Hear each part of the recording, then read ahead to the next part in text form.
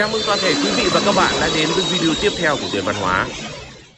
Đêm ngày 2 tháng 11, một vụ tai nạn nghiêm trọng đã xảy ra tại khu vực ngã tư Trần Hưng Đạo, Bá Triệu, quận Hoàn Kiếm, Hà Nội, khiến một người tử vong tại chỗ. Thời điểm trên, theo hình ảnh từ camera an ninh ghi lại, một đoàn người đi xe máy với tốc độ cao, bấm còi inh ỏi. Khi đến ngã tư Trần Hưng Đạo, Bá Triệu, một chiếc xe trong đoàn người trên đâm vào một người phụ nữ đang dừng chờ đèn đỏ. Cần nói rằng thời điểm khi đó là 0 giờ 15 phút, tức là nửa đêm. Vậy nhưng cô gái vẫn tuân thủ nghiêm túc luật giao thông. Vậy nhưng người tốt, người tử tế lại không được ông trời thương.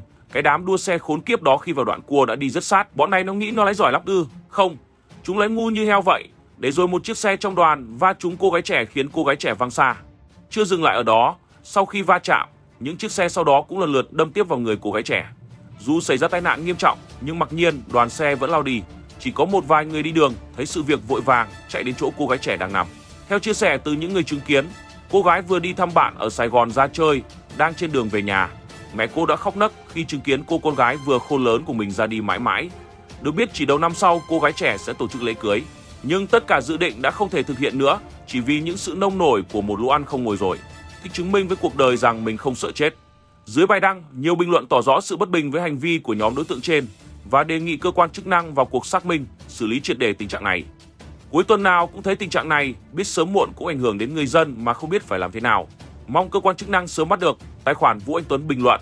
Còn tài khoản Hà Thanh cho rằng cần phải tăng cường tuần tra, xử lý nghiêm các đối tượng hay tụ tập chạy xe tốc độ cao, làm mất an ninh trật tự. Tôi nhớ có đợt Hà Nội ra quân xử lý rất quyết liệt, có đối tượng bị khởi tố. Mong sớm có giải pháp hạn chế tình trạng này để người dân ra đường được an tâm. Đầu giờ sáng mùng 4 tháng 11, cáo phó được dán ngay ngắn từ đầu con ngõ nhỏ dẫn vào nhà nạn nhân NQH trên phố Nguyễn Cao, quận Hai Bà Trưng, Hà Nội. Từng lượt người dừng chân đọc cáo phó, bày tỏ nỗi xót thương cô gái tử vong do bị đoàn xe máy tông trúng dạng sáng mùng 3 tháng 11. Khổ thân cô gái ra đi khi còn quá trẻ, các tiểu thương khu chợ tạm xôn xao. Cách đó 200 đến 300 mét, căn nhà bao trùm tiếng khóc thương, người bố đứng bên ngoài, cố kìm nước mắt để chuẩn bị tang lễ cho con gái. Ông lần lượt cảm ơn những người đến hỏi thăm chia buồn cùng gia đình. Ở góc đối diện, cụ bà hàng xóm hướng dẫn những người đến thăm hỏi gia đình, sắp xếp phương tiện gọn gàng. Nhân chứng Yến Linh, sống tại quận Tây Hồ nói, vẫn còn ám ảnh nhớ lại cảnh đoàn đua xe ngông cuồng nẹt cô lạng lách đánh võng giữa phố. Cách một đoạn, nghe tiếng đoàn xe đến gần, vợ chồng cô sợ hãi vội tấp vào bên đường. Một chiếc xe máy chở theo hai cô gái hướng ngược chiều với tốc độ cao, đâm trúng nạn nhân ngã ra đường. Sau đó, một chiếc xe máy khác do hai nam thanh niên điều khiển tiếp tục chèn trúng người khiến nạn nhân không qua khỏi. Sau va chạm, nhóm người đỡ nhau lên xe bỏ chạy khỏi hiện trường. Linh cùng nhiều người dân tiến đến phát hiện nạn nhân chảy nhiều máu nên gọi cấp cứu và công an. Đến 1 giờ ngày mùng 3 tháng 11, Linh mới rời hiện trường khi trông thấy mẹ của nạn nhân khóc ngất bên thi thể con gái. Nghe tiếng gào khóc của người mẹ tôi cảm thấy xót xa vô cùng.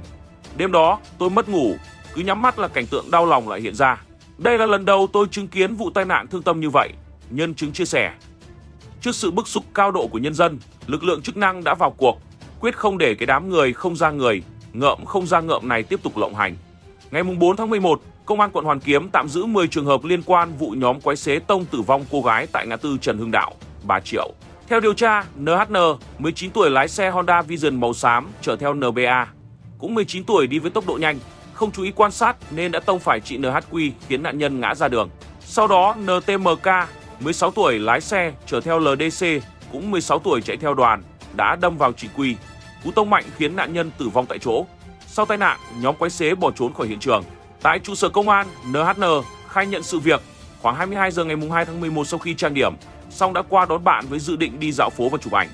Khi tới nhà hát lớn Hà Nội, gặp đoàn khoảng 20 đến 30 xe đua. N nói với bạn đi lên xem có ai quen không. Vừa nhập vào đoàn đua, N nói cũng nghe tiếng cảnh sát hình sự đuổi. Do không đội mũ bảo hiểm, hai cô gái này tăng ga với tốc độ nhanh cùng đoàn xe đi theo hướng Trần Khánh Dư, bệnh viện 108, Trần Hưng Đạo. Khi tới nút giao Bà Triệu, chiếc xe này xảy ra va chạm với chị NHQ đang chờ đèn đỏ. Cú tông mạnh khiến hai xe cùng văng ra đường. Tôi không nhớ gì khi mở mắt ra đã thấy mình trong bệnh viện. Nghe bạn nói tôi mới biết mình đã gây ra tai nạn chết người. Tôi cảm thấy hối hận và sốc, nữ nghi can khai. Nói về mục đích đuổi theo đoàn xe, NHN nói vì tò mò, muốn thử cảm giác và xem có gặp người quen hay không. Chiếc xe này có được là xin tiền bố mẹ mua, với lời hứa chỉ để đi làm. Còn NTMK cho biết sau khi xe của NHN tông vào chiếc xe đang chờ đèn đỏ, khiến cô gái ngã ra đường, K phóng với tốc độ nhanh nên bị bất ngờ và không kịp phản ứng. Khi được hỏi về lý do bỏ chạy khỏi hiện trường, các nghi can đều cho hay do sợ hãi và hoảng loạn nên đã bỏ đi. Công an quận Hoàn Kiếm cho biết đang thu thập tài liệu, củng cố hồ sơ để xử lý các nghi can theo quy định. Còn cư dân mạng thì vẫn đang cực kỳ bức xúc vì vụ này. Đấy thấy chưa, đến khi cảnh sát giao thông làm căng lên bọn mày, lại gào mồm lên ăn vạ, kêu thằng này thằng nọ. Nhà tôi ở khu này, tối nào cũng toàn trai xinh gái đẹp đi thành đoàn, không đội mũ bảo hiểm, vượt đèn đỏ rồi đua. 30 năm nay rồi vẫn như vậy, hết lứa này đến lứa khác. Lẽ ra con người phải từng bước văn minh hơn nhưng không. Cái loại không quý tính mạng mình thì thôi, đằng này còn gây hại đến bao nhiêu người. Mình đi đường nhiều khi thấy những nhóm đua, phóng xe ầm ầm mà mình thấy hoảng sợ ý. Mình sợ chẳng may chúng nó đâm vào mình hoặc những người vô tội khác giống như mình và xảy ra điều đáng tiếc. Có khi nào có ra luật mới cái bọn đua xe trái phép phóng ầm ầm cứ cho công an ra vụt ngã thì thôi có được không? Chứ để nó đi đâm vào người khác tội lắm. Phải có chế tài thật nặng mới đủ sức gian đe. Chứ như này vẫn còn nhiều người chết oan vì vấn nạn đua xe. Nếu mà được hỗ trợ mấy anh công an tóm bọn này thì xu phong. Liền chứ đi đường lâu lâu đông hay ít bọn nó vẫn lao qua đều như cơm bữa. Có trẻ con phụ nữ người già người ta giật mình tí ngã cũng kệ. Tôi nhớ có năm hai đồng chí công an đuổi đánh, hai thằng học sinh chạy láo, bị camera ghi lại và cả lũ đạo đức giả vào bên hai thằng học sinh đó. Bây giờ lại gào mồm lên nói sao không dẹp bọn này đi. Khuyến nghị sửa hiến pháp khung trách nhiệm hình sự xuống 13 14 tuổi, lỗi nhẹ 15 năm, vào tù lao động khổ sai sống không bằng chết xem lũ mọi còn như thế không. Chưa thấy quan tài chưa đổ lệ, phải cho chúng ba đời vẫn còn ân hận. Có cái cháu chắt cấm xuất cảnh, kỳ thị và phân biệt đối xử với những trường hợp như thế này ngoài xã hội. Sống không bằng chết, liệt vào danh sách đen, muốn làm ăn buôn bán gì thì cứ làm khó dễ. Xem lũ chúng nó có ngoan không? Quý vị nghĩ thế nào về vụ này? Hãy để lại ý kiến bên dưới cho chúng tôi. Còn bây giờ xin chào và hẹn gặp lại.